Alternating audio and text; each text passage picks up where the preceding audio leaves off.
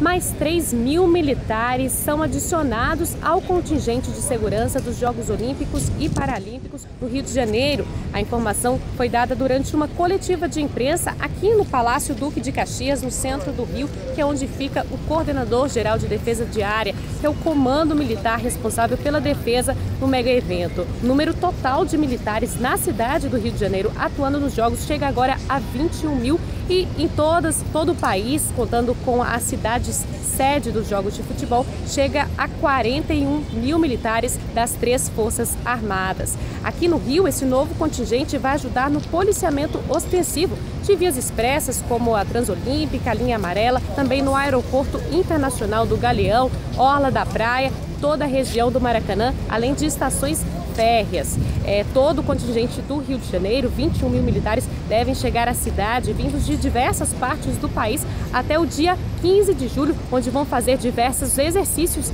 de simulados de segurança para ficar prontos para entrar em operação já a partir do dia 24 de julho. Do Rio de Janeiro, Carolina Rocha.